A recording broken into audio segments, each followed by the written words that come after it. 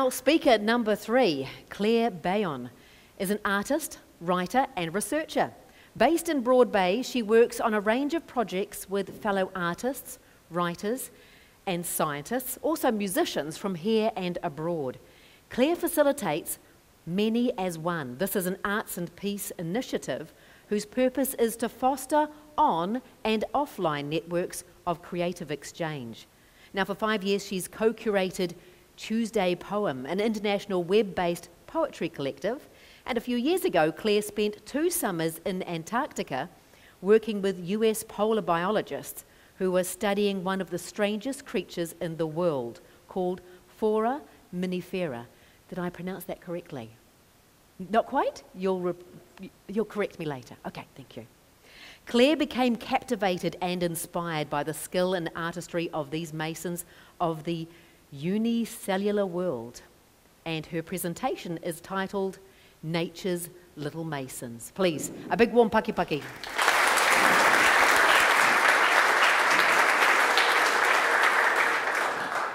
Welcome to Explorers Cove, New Harbour, Antarctica. So today I'm going to introduce you to a group of unicellular artists, architects and masons of the microscopic world. And I will share the bones of a collaborative project that I worked on that involves these organisms and two South African artists um, and US polar biologist Sam Bowser and me from Dunedin. So I'd never heard of foraminifera that are called forams for short until I encountered them on the ice on my first trip in 2005. They are ordinarily invisible to the naked eye, but in Antarctica and the Southern Ocean, they are giants, especially in the icy waters around McMurdo Sound. So foraminifera form the base of our evolutionary pyramid. They perform a wide range of tasks, amongst these the sequestering of carbon and the cycling and recycling of nutrients from their ocean floor habitat. The research team that I was with in Antarctica has been studying these little tiny critters for two and a half uh, decades, and each year they return to the same remote field camp.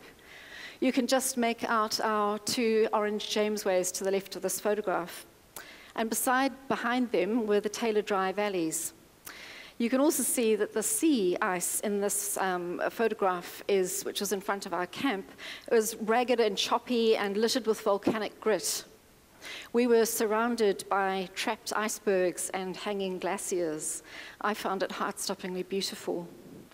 So in addition to a long list of camp duties, a good many hours each day were spent peering down microscopes in a makeshift lab, sorting and identifying these foraminifera that were collected twice daily by divers.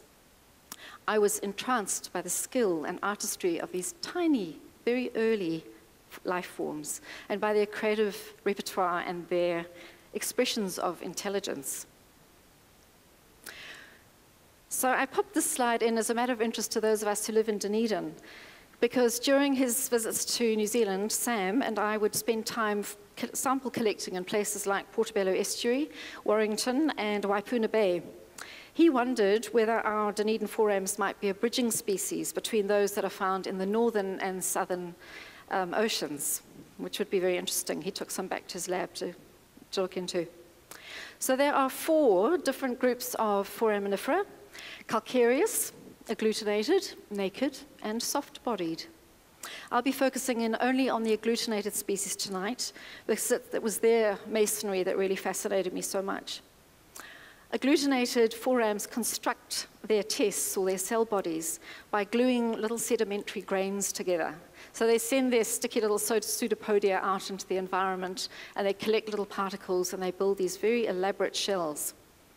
Certain species will work only with transparent stones. It was so fascinating. Under the microscope, there's one called Astrammina um, triangularis that would light up like a little stained glass window or a, an elaborate Byzantine dome. Very beautiful. Other species selected only opaque stones, all of a consistent size. Still others built their structures with apparently random sedimentary material, only to complete their homes with one red stone. How did they know that? How did they distinguish the color red, and why did they do this? Still others, like Silva Sacomina on the right-hand side, would line their constructions with titanium And Nina Mamela, on the left-hand side at the bottom, decorates its shell with sponge spic spicules, probably just for decoration, like a hermit crab might. It's crazy to think that this two centimeter tree foram, which is carnivorous, is actually a single-celled creature. So I'll introduce you to Christina Bryer, who's a Cape Town-based uh, ceramic artist. She, um, we, we, asked her if she would create a series of work to take down to the ice, and she was especially drawn to the foram Astrammina triangularis, which is affectionately known as Euclid.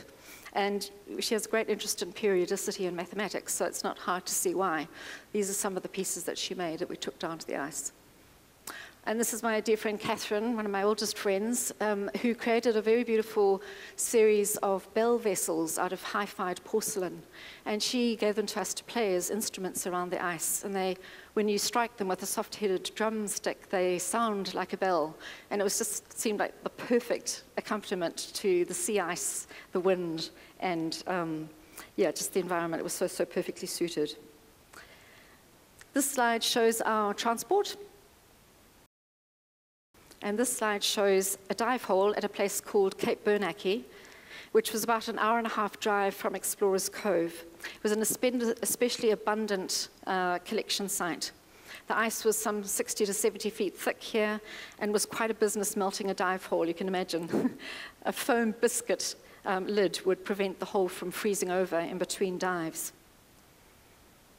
This is Sam uh, entering the dive hole with one of Catherine's vessels.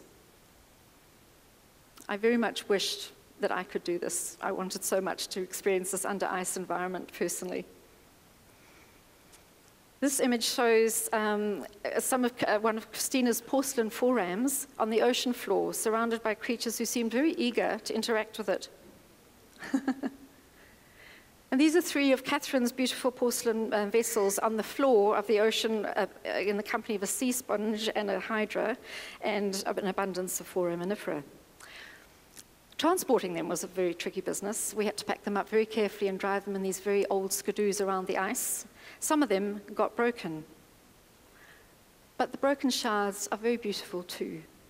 So what we did was we collected them all up and Sam took them back to the lab where he had a special instrument that um, was called something like a particle tumbler. And what it did was it would tumble these shards and break them down into dust-sized um, particles that would be approximately the same size as the sediments, that, um, the, the grains that they would choose in their natural habitat. And we wondered what would happen if we gave these porcelain dust particles to the forams to construct art. So to bring things full circle, these chalky cliffs of Dover are composed of a palimpsest of fossils. So Catherine and uh, Christina's clay composed of materials that contained the bodies of the forams. And so what we did was we gave them the material, they built these new sculpture forms with the bodies of their ancestors. so I think I've finished, have I?